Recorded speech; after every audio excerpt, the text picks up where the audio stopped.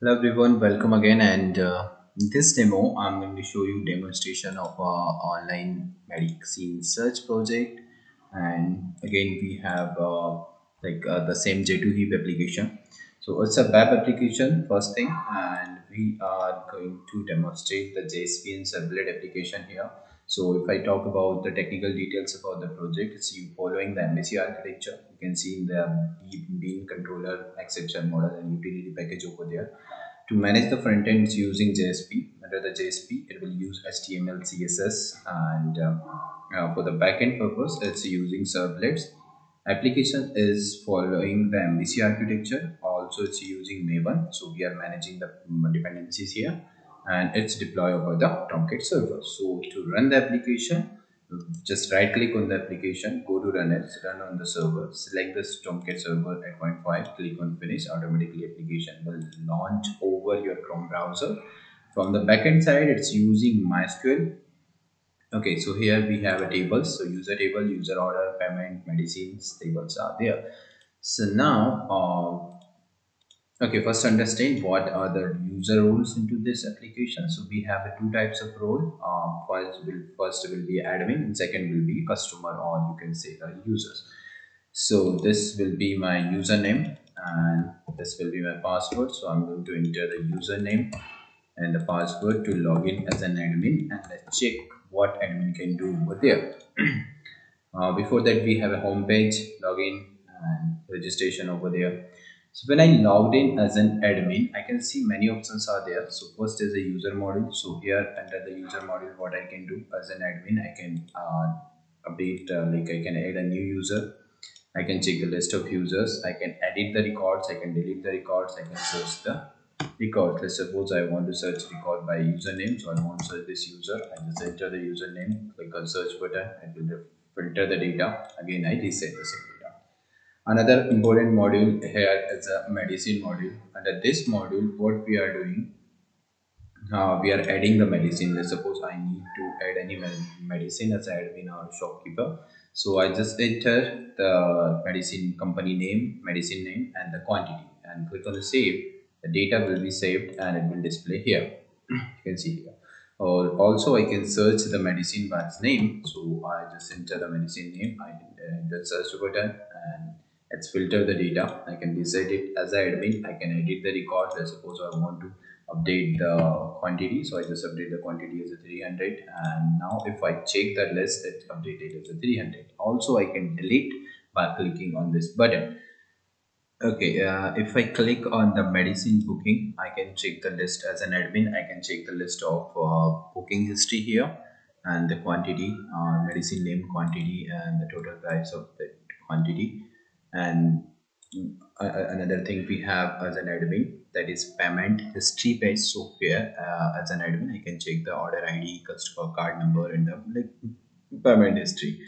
So the most important thing now we are going to register as a user uh, i'm going to log into the application and i'm going to book a medicine so we have we are going to use an existing user or we can register as a new user as well. So i just quick enter the username password and registered by this user and this is my username. So i just logged in there and uh, if i refresh the table the newly registered user is available here. So this is the password for that user. So i'm going to copy the same password going to log in here. When i click the sign in button it will enter me into the application. So under the medicine section i can check the available medicines. So now let's suppose i want to book this medicine and current quantity is 600 so if i book some quantity from this it will be automatically decreased. So if i book here uh, let's suppose i want to book a 50 medicine and the previous quantity was 600 and after uh, out of 600 I have uh, booked 50 so if I check the medicine list now the remaining is 550 also uh, uh, apart from the booking we have other option here. I can search medicine by the name. That is will work like this. I just entered the medicine name in the search button and decided so again uh, the most important here is a validation. So where we whenever we are going to book any medicine automatically the quantity will, quantity will be decreased. Now, under the booking section, if I see the 50 quantity for this medicine name is available and the total cost is 3700 the cost uh, cost is calculating dynamically from the backend and uh, if I check the payment history now it's showing nothing. So if I book it I just click on the pay I just enter my card detail and I pay and I just paid the payment successfully. Now in the payment history the record will be displayed. Now if I move again into the booking section I can see the the payment is paid. So it means uh, the status is updated and it's paid now. Uh, so I can't pay it again. Now uh, we have paid uh, 3700 amount for the 50 quantity of the medicine in this. So now admin can check this detail as well. So i again going to log in as an admin go to sign in.